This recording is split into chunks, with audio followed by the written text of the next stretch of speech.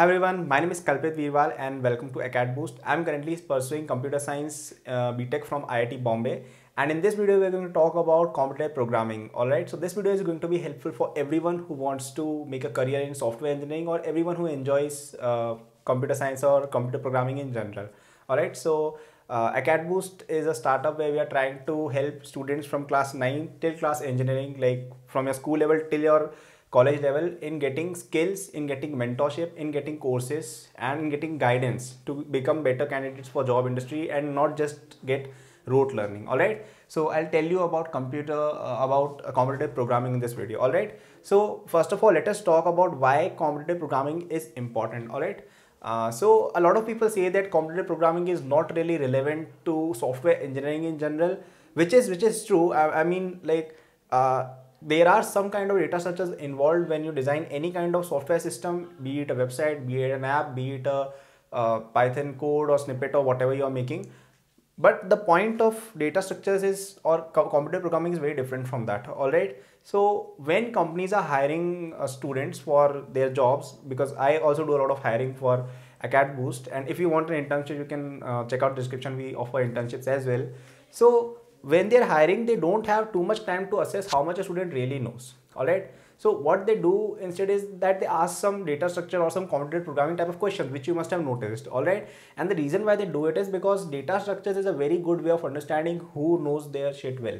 All right. So so let me explain why what I mean by this. So let's say for example if you are getting entrance into engineering colleges so you have your examination. Now I understand that JEE is probably not the best indicator of who knows computer science well or not but it is a good indicator of who has got common sense who has got a work ethic who has who has the capacity to work hard all right? Because these things are important when you're taking admissions in engineering colleges. So that is the purpose of JEE similarly competitive programming or your data structures and algorithms will not tell you not tell how good a software engineer you are but it shows how good your problem solving capabilities are. It shows how work how willing you are uh, to learn the data structures and algorithms.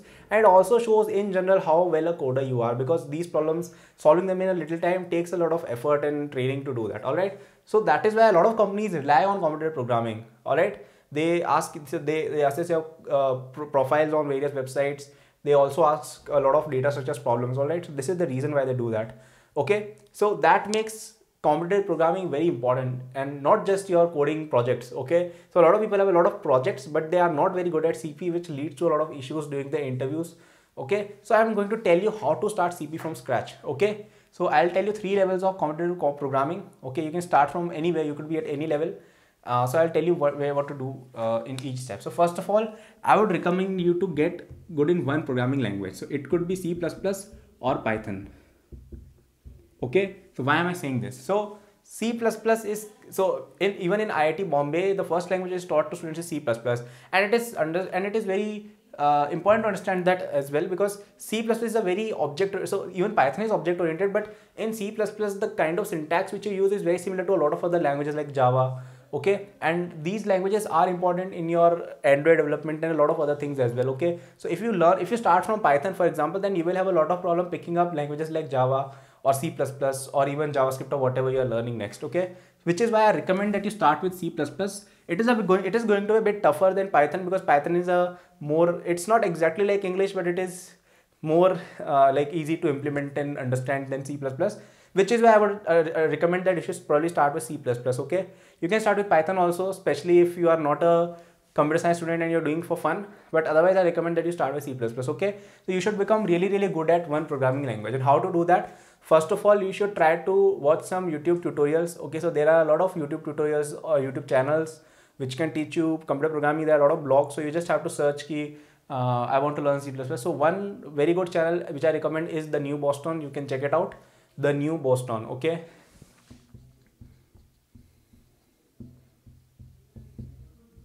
I hope you can read this. Uh, okay so just watch these videos and then go to the website hackerrank.com okay? And on hackerrank.com you will get some tracks on C++ programming. So try to get a gold in that. It's not very hard, but it will teach you the syntax really well. Okay, so it has got some very basic problems in C++, very simple math type of problems. Okay, so those are easy to do. You don't really need a knowledge of data structures and algorithms to do that.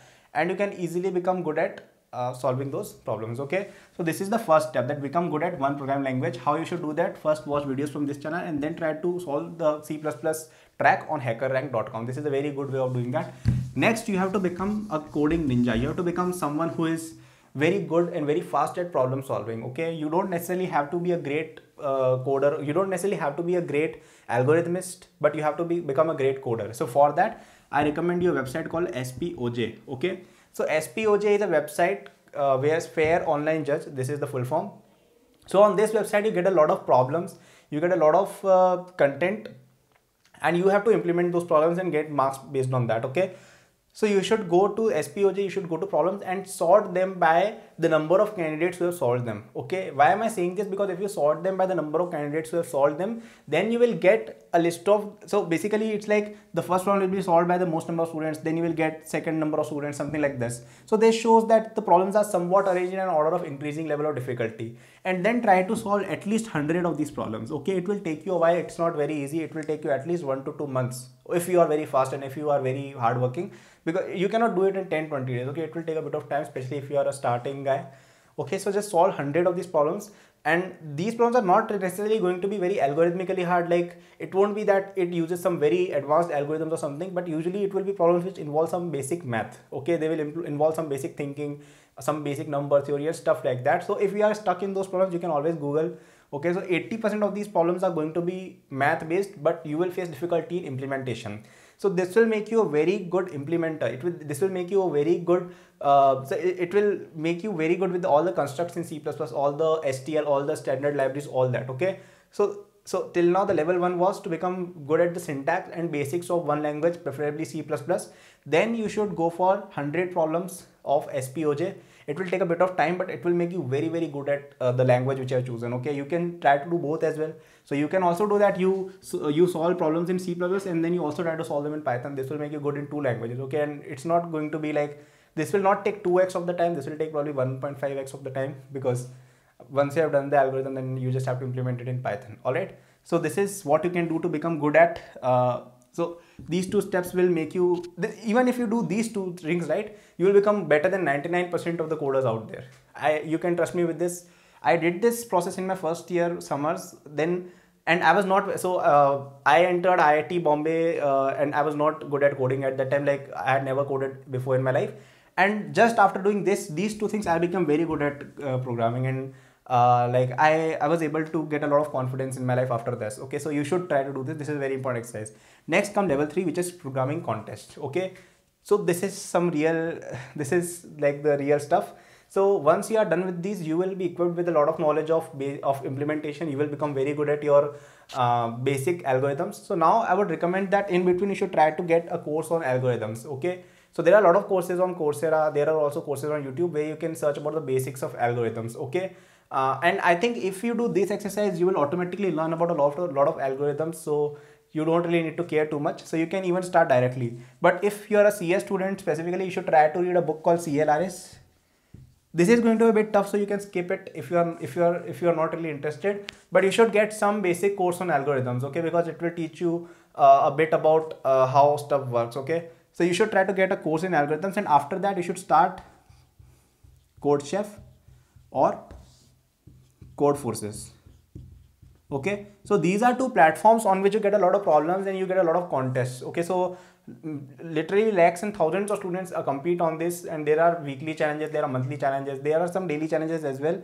So you can go to these websites. I personally recommend this because these problems are a bit tougher and i've already solved the easy and the medium ones here. So now you should go for tough problems.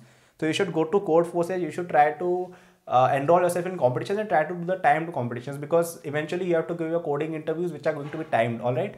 So try to get a good rating on these as well because you if you if you have a good rating on Codeforces CodeChef you can always show it on your resume and it leaves a very good impression on the interviewer if you have a good rating on these platforms all right? So I will summarize what I said. So first of all, you have to become very good at one programming language, preferably C++ plus, Python, and it's good if you become good at both okay because in real development python is much more important than let's say c++ but c++ is like the bap language. So if you master it it becomes easy to master others. Then you should go to spoj and try to solve 100 problems in the order of decreasing number of candidates who have solved that problem. And then you should go and then you should try to take a course on algorithms. If you are a cs student you can try to read CLRS it is going to be a bit tough but if you read it you will get a very good knowledge of your uh, algorithms if you don't have time to read CLRS, you can take up some basic course on algorithm. You can go to Coursera and just type algorithms. I think Princeton University has got a good course on algorithms on that site.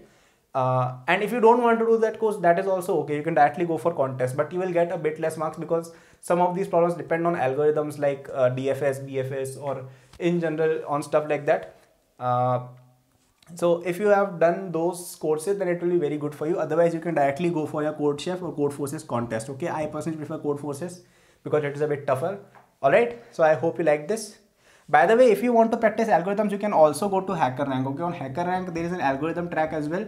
You can go there. You can uh, try out that algorithm track because that will so, uh, help you know about algorithms just via problem solving. Okay, so you can try that also. But this is a bit tough. Okay, it's not easy which is why I've arranged this in this order that first then second then this HackerRank and then CodeChef Codeforces okay so this diagram has become very messy now. So I'll end the video here. Okay so don't forget to check out our description section. We have got a lot of content over there. So we have got a blog of AcadBoost where we give advices. We've got this channel where we give advice in video format. Okay we'll try to bring some more guests in the future as well. Okay uh, and you can also check me out on instagram. My links are given in the description where if you have any queries you can send them to me I try to reply to DMs as much as possible, or at least I try to make videos on the topics which people are requesting the most. Okay, so I hope you liked our initiative. Do stay subscribed. We will post a lot of courses, a lot of content, a lot of advice on how to succeed in your career as a software engineer and even in other branches of engineering. So I hope you like this video. All the best. Stay safe, and uh, I hope you have a nice day.